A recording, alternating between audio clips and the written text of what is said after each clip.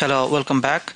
Uh, in the last couple of videos, we described you how you are going to uh, transform uh, from a system like this, uh, where you know you're not it's difficult to find information, where it is uh, difficult to scale, to something a modern infrastructure called database management or, or databases. Okay, so so all these things are being uh, transformed from here to here okay? So in this video I just want to give you a perspective of how this database uh, DBMS or databases works on the whole from the system point of view.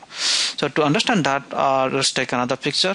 So this is the office of 1950s uh, this is the office of 2010 or 2012 okay? So so in the 1950 we are storing the information like this and there is a clerk or there is a person that is there to answer you the questions right now. Here is a simple use case. So here's a person his name is x and x is going to ask this lady give her birth certificate. So to get his birth certificate from uh, from this lady he has to go there and stay in a line and then and get it. And possibly maybe he will never get it okay.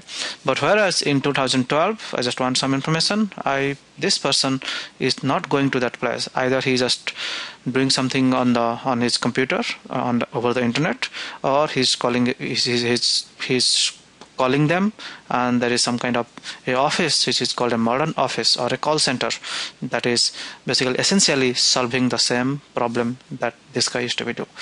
And the difference here this works 24 by 7 this works fault tolerant this this is more efficient.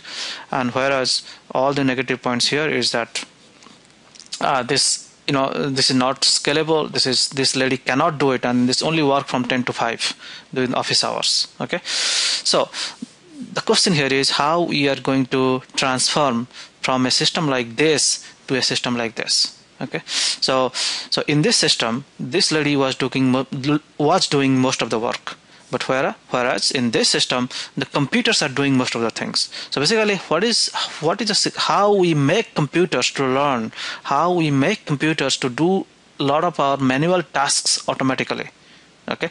And that is the branch of science we call information technology. Information technology. So what information technology is a science is, is engineering field which allows you to communicate with the computers to solve this kind of problem that you are seeing here. Okay? And this is what the field of IT and this is called information system. Information system. Okay? So how databases how other pieces of software glue together to form a information management system that is the goal of this video. That is what we are going to learn in this video how to build an information system. So to build an information system just go back to a, a, a, a analogy that I can give you that this is how you build a house. To build a house you go and then first you go to an architect who can give you a plan how to build a house. Then you go to different people to buy raw materials so that you can get wood woods you get sands you get whatever whatever you need to build a house. So you got this raw materials from different vendors right? And then you hire some some contractors or you hire some some skilled workers who can build you a house okay? So that is called skilled workers okay? So so with this kind of mix at the end of the day you are going to build a house so similarly, how to build an information system? Same concept. You go to a, go to somebody who can give you an idea. So they are called consultants, like people like Accenture, people like uh, you know KPMG, Infosys. These people are given idea how to build the plan the architectural plan they will understand your business requirement and they will suggest you a information management system but how do you buy the raw materials from from where do you buy the databases from where do you buy a software called middleware or where do you buy a software called storage so all those things you have to go to product company like Cisco. They'll give you a router to route your network um, traffics.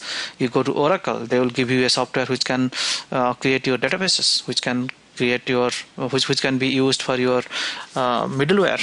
And you go to SAP to get buy, buy some ERP applications. You go to IBM to buy some storage. You go to HP to buy some big machines. You go to Microsoft to buy some operating systems and so on. Okay? So these are the these are the these are the companies uh, who give you the product the, or the raw materials to build an information system. And then you need to find out some consultants who can some skilled worker who can uh, who can combine all those things together and build that information management system. And that is where infosys Tata Consultancy hcl wipro they come into picture. Okay? So this is how you are going to build a information management system and that is how you are going to transform a office of 1950s to office of 2012 in the next video we are going to discuss specifically about what Oracle can give you so that you can build this information management system. Thank you.